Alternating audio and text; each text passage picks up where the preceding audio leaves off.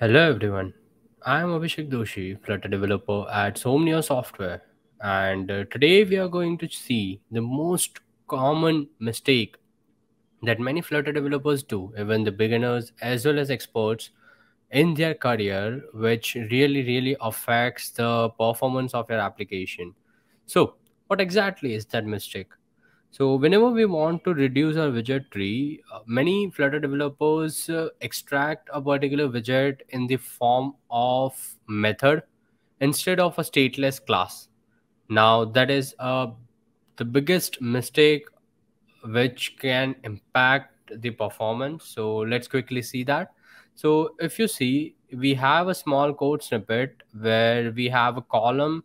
Inside that, we have Flutter logo, text, size box, and a row in which there are two elevated buttons.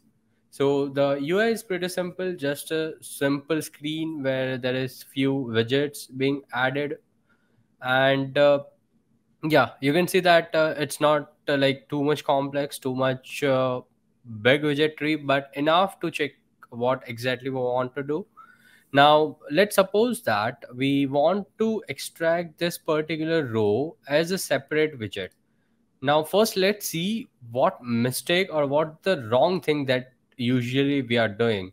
So when we when we click on uh, when we right click on row we will get as refactor or let's uh, let's just check from the bulb icon. And uh, what usually people do is they extract this particular widget in the form of method and give it a name called bottom widget and then use it in the widget tree. So you can see that the bottom widget that we have is a separate widget over here inside the same class and then it is used in the build main build method. Now, why exactly is this wrong? Whenever you are extracting a particular widget in the form of a method instead of a stateless widget, you are creating the same, you are using the same build method for both the widgets. Now you can see that in the in our bottom widget we don't have a separate build method. We are just returning a widget. And in our stateless class we have a build method.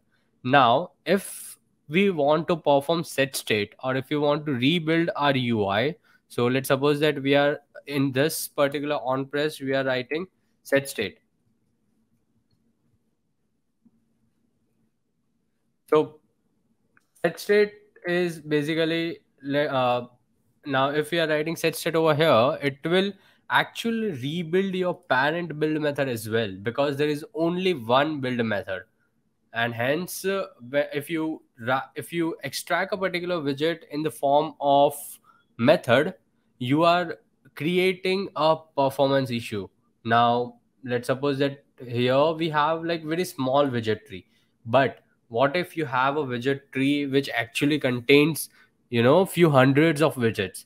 Then in that case you would act you your performance would really be very much impacted with uh, such bad mistake. Now let's see what exactly thing or what new thing or what the correct thing we should do. I have created another file called home duplicate. The code is same. You can see like uh, column flutter logo text size box and row. Now let's extract this particular widget and uh, below extract method you will get extract widget. So this would actually create a separate stateless class. You can see that it is it has created a separate stateless class called bottom widget which has its own build method. And then we are using it over here So you can see we have the bottom widget in our parent build class and this build widget class has its own build method.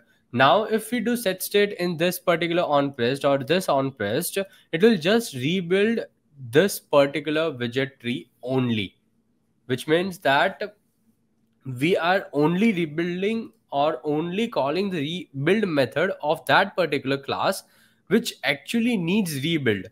And we are not causing unnecessary or unuseful rebuilds in this case. So this is the main reason that uh, it is always advisable to extract a met- extract a widget in the form of a separate class either stateless or stateful and not extracted in the form of a particular method to summarize the biggest mistake that all the developers do is that whenever they want to reduce the size of the widget tree they extract the widget in the form of method instead of a separate stateless or stateful class. Now method is not a good way because it would not have a separate build method. And whenever we want to update that particular part of our code whenever we want to rebuild that particular part of our UI, the entire widget tree would be rebuilt because we are using the only one build method. On the other hand, if we extract a particular widget in the form of a stateless or stateful widget, then we have a separate build method for that particular widget tree and hence the rebuild is very much better in performance because we would be just rebuilding our part of UI which actually needs the rebuild. So I hope you learned something new today and you would be using this in your regular days. And yeah, stay tuned for such tips. Thank you.